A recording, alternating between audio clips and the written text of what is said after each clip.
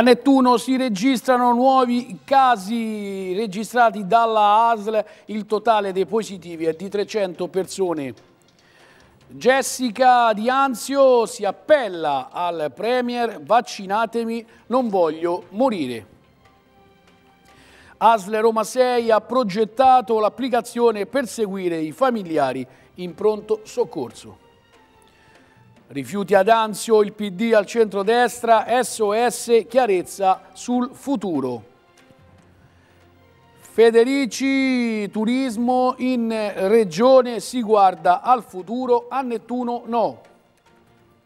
E ben ritrovati a questo nuovo appuntamento con il nostro telegiornale eh, locale. Apriamo subito questa pagina eh, per quanto riguarda il nostro telegiornale con il Covid perché sono nove i nuovi casi registrati dalla ASL, il totale dei positivi è di 300 persone. Sono nove i nuovi casi di coronavirus registrati a Nettuno. Tutti sono stati posti in isolamento domiciliare e attualmente i positivi sono 300, di cui 12 ospedalizzati. Si raccomanda la massima prudenza e il rispetto delle normative anticontagio da coronavirus, che sono quelle di indossare sempre la mascherina, lavarsi ed igienizzarsi spesso le mani e mantenere il distanziamento sociale. Parliamo adesso di un caso che è stato messo, eh, che è stato sottolineato dall'opinione eh, pubblica e non solo, si parla di una ragazza Jessica Di Anzio che si appella tramite i social network al Premier, vaccinatemi, non voglio morire. È una donna di Anzio, Jessica, di 37 anni con una malattia rara, in un video pubblicato sui social a fare un appello al Premier Draghi per vaccinarsi. Sono affetta da mastocitosi sistemica, una malattia rara e ho tanti altri problemi di salute, ma per la mia regione non rientro nelle priorità. Io devo essere assolutamente vaccinata, spiega Jessica, perché se prendo il Covid rischio di morire e non voglio morire. Il mio medico ha scritto alla ASL, sono stata 4 ore in uno ospedale in cerca di soluzioni con la paura di contagiarmi proprio lì. Faccio un appello al Premier perché sono sicura che nella mia situazione c'è tanta gente, ho una bambina piccola e una vita davanti, capisco che bisogna partire dagli anziani ma noi anche con poca salute siamo il futuro e vaccinarsi è un diritto, queste le parole della donna. È nata l'applicazione dell'ASL Roma 6 con la quale si potranno seguire i propri familiari in pronto soccorso. È nata l'app dell'ASL Roma 6 con l'obiettivo di essere sempre più vicini all'utenza e performanti nei servizi. L'app fa parte del progetto di digitalizzazione denominato Connectoma, avviato a gennaio che punta a rivoluzionare la sanità di domani rendendola digitale, smart e personalizzata. L'applicazione è un primo passo importante per la nostra azienda, ha affermato il direttore generale Narciso Mostarda. Ci consentirà di seguire il percorso di un familiare che si è recato in uno dei nostri pronto soccorsi direttamente da casa in perfetta sicurezza, evitando di sostare nelle sale di attesa e azzerando ogni possibile gap informativo con le famiglie. L'app inoltre consente di prenotare rapidamente un tampone e di avere informazioni sui servizi e sulle novità della nostra ASLA. La sfida della nostra trasformazione digitale dell'azienda inizia proprio da qui. L'assistito è posto al centro e l'organizzazione diventa smart, prendendo forma intorno a lui. Diamo lo sguardo adesso ad Anzio, rifiuti il PD al centrodestra, SOS chiarezza sul futuro.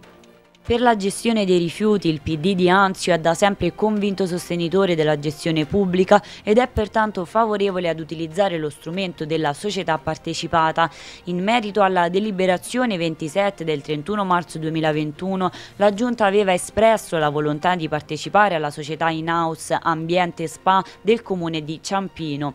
Il Partito Democratico di Anzio chiede che vengano fornite dettagliate spiegazioni in merito e di fornire tutti i passaggi passaggi preventivi rispettosi delle normative vigenti che sono stati messi in atto dall'amministrazione comunale al fine di poter proporre l'adesione ad una società partecipata. Inoltre chiede di conoscere quali siano le condizioni di acquisizione di quote della società di Ciampino e i relativi servizi che vengono chiesti dal comune di Anzio e quelli offerti dalla società, la percentuale di quota societaria da acquisire ed i relativi costi da sostenere, nonché la tutela del personale attualmente in servizio nella società che gestisce il servizio dei rifiuti del comune di Anzio. Chiede altresì per quali ragioni l'amministrazione di Anzio e quella di Nettuno non si sono mai incontrati o non hanno mai pensato a costruire una società partecipata al fine di gestire non soltanto il ciclo dei rifiuti ma anche altri servizi integrabili sovracomunali per abbattere i costi che sostengono i cittadini. Così in una nota stampa il Partito Democratico di Anzio.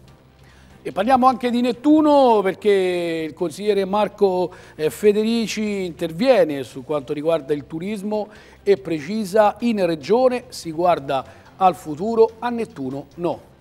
In qualità di coordinatore di rete nazionale del Movimento Autonomo Agenzie di Viaggio Italiane, la MAVI, Marco Federici, su indicazione della, della Presidente Enrica Montanucci, ha partecipato alla riunione del tavolo tecnico dell'Osservatorio regionale del turismo presieduto dal neo assessore regionale Valentina Corrado. Sulla questione Marco Federici è intervenuto al nostro telegiornale. Volevo, volevo portare all'attenzione di questa amministrazione il fatto che eh, in regione, la regione convoca tavoli eh, tecnici di programmazione per quanto riguarda il turismo, dove, sono, eh, dove si dettano linee programmatiche eh, riguardo la materia turismo in regione, quindi tutto ciò che riguarda la promozione eh, dei luoghi, una programmazione fatta da, da, tutti i facenti parte della filiera.